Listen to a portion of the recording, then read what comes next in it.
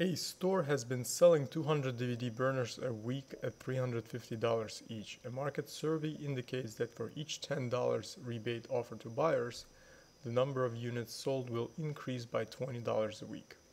Find the demand function and the revenue function. How large a rebate should the store offer to maximize its revenue? So the first thing to realize is that P of X will represent price per unit. Okay? And X units will be sold. X units will be sold. So now, the uh, revenue function is going to be the R of X as a function of X, and that will equal the X units sold times the price per unit. This is the total revenue. So X times P of X. So we need to find the demand function. Okay, this is the demand. Now we didn't find it yet because it has to be in terms of X. And the revenue function we already found. So in order to find the revenue function complete, we need to find the missing piece um, in terms of x, which is p of x, the demand function itself. So now let's talk about the current revenue. So the current revenue is going to be 200 times 350, right? Because this represents the units and this represents the demand price per unit. Price per unit. Okay, so overall, the current revenue is 200 times 350. Now, this is before the discovery that, uh, be before the market survey is taken that indicates that for each $10 rebate offered to buyers, the number of units sold will increase by 20 a week. Right, so this is before. So now we're going to talk about how uh, what we need to actually add or subtract from the current revenue, right? Because the revenue should be a variable revenue depending on the x value, okay? And the p of x will also depend on the x value. So we have to find this demand function by using this information regarding the rebate. So now let's talk about uh, relating the x units and the number of additional units sold per week. So in addition to 200 units. So if X units are sold weekly, then X minus 200 means what? The number of additional units sold per week. Okay, so x minus 200. Now, keep in mind that x units should be at least 200 and above. If it's 200, then the number of additional units will be 0, right? 200 minus 3. If x is greater than 200, there will be an additional number of units sold per week, right? In addition to 200. And this is done in order to use the discovery after the market survey was taken, use the discovery regarding the rebates and the number of units sold, okay? So x minus 200 is the number of additional units sold per week. Now let's see, so per every for every 20 additional units sold,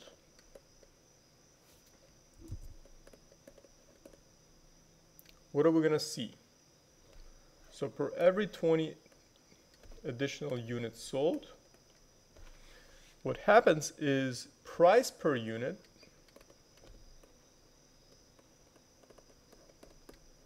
price per unit decreases by 10. per 20 per every 20 additional units sold. So that's on top of the 200 of the current number of units. So per every 20 additional units sold, price per unit decreases by 10, right? Because this is what, what it says here. For each $10 rebate offered to buyers, the number of units sold will increase by 20. Okay?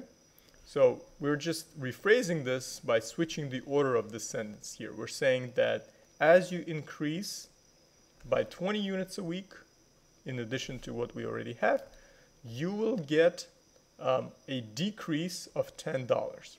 Okay? So basically, the uh, price per unit will decrease by 10.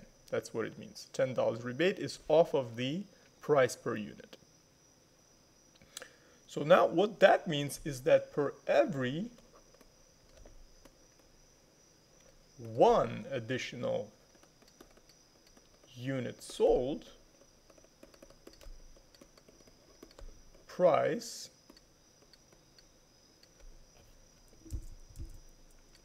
price per unit decreases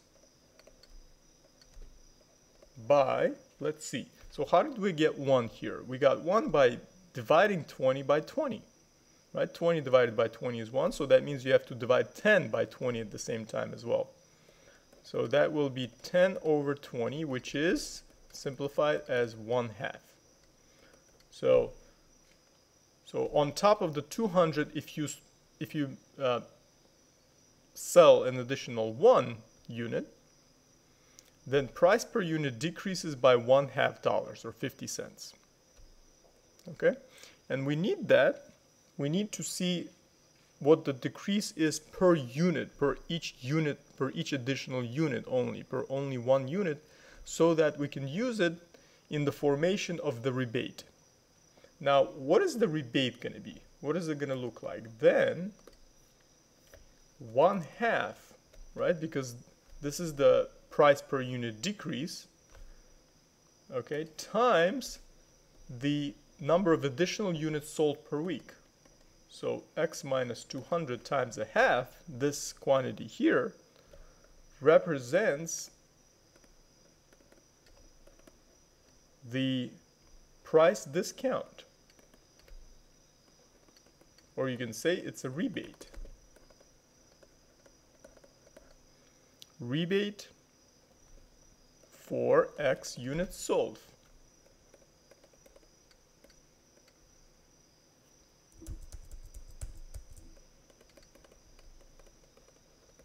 Okay, so 1 half times x minus 200 is the price discount, the rebate for x units sold. So basically you're going to have to take away this amount from the price, from the current price per unit. Okay, so now if we relate these two, if we basically subtract this from the 350, we will get the demand function. We will get the effective demand function that we need. So thus, p of x, the demand function, becomes 350 minus 1 half times x minus 200. Okay, that's the demand function. And again, you're subtracting the total rebate, okay, after selling an additional, um, after selling x min uh, an additional of x minus 200 units. Or you can say after selling X units, you will get the total, which is 350 minus 1 half times X minus 200. Okay? So now that we found our uh, demand function, now let's bring back the revenue function. So the revenue function will take note of the fact that we found the demand function P of X. So the re revenue function will be, will be X times this whole thing, right? We're just substituting the p of x with what we have on the right side of it. So that will be 350 minus 1 half times x minus 200. Okay, and this becomes uh, 350x minus 1 half x squared plus 100x. and it can be further simplified as, and let's put um, in the uh, order of uh, decreasing power. So we're going to put negative 1 half x squared first. As you can see, this uh, looks like a typical quad quadratic equation. 350 my, uh, plus, one, plus 100x, that's going to be uh, 450. 450x. So as you can see, this is a quadratic equation in which the parabola uh, opens down, right? And it has a vertex which represents, uh, the vertex is the maximum amount, right? So basically the shape of this parabola is like this. It opens down and the vertex will be the top the top value, the highest value possible, which will be the highest revenue, right? Because this quadratic equation is the revenue function that we found, right? So the highest point will be the greatest revenue. So now, in order to find the, notice that the slope here will be zero, okay? So, and the slope, as you can see, should be the derivative, right? So we need to take the derivative of this function, r prime of x, that is, and using the power rule, this is going to be what? This is going to be minus x for the first term, and then 450x, the derivative of that is just 450, using the power rule. So as a result, I just said that the derivative here will be zero, right? So we need to um, set the derivative function to zero. So we want 0 equal to minus x plus 450 in order to find the x value responsible for the greatest revenue. Right? So if we solve for x here, by simply adding the x on both sides, you will get what? You will get x is equal to 450. So what does that mean? x equals 450 gives you the number of units that will give you the maximum revenue. Right? The number of units sold that will produce you the maximum revenue. Now the question said how large a rebate should the store offer to maximize its revenue. Now what is the rebate? The rebate was this, right? So let's circle that. So this is the rebate, okay? This is the rebate. So we need to we need to set x equals to 450 into this rebate function, right? So so rebate function, let's call it r of x. So r of x is equal to 1 half times x minus 200. Right, so now we're going to set r of 450, right? Because this is the uh, number of units sold that gives you the maximum revenue. So if we input this number of units sold for the rebate function, we will find the rebate that goes along with the maximized revenue.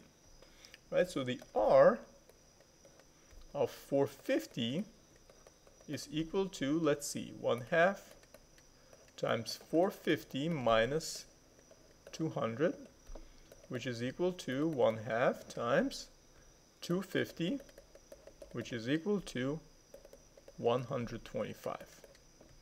Okay, so the rebate is 125 dollars. Hope this was helpful. Thanks for watching and see you in the next video.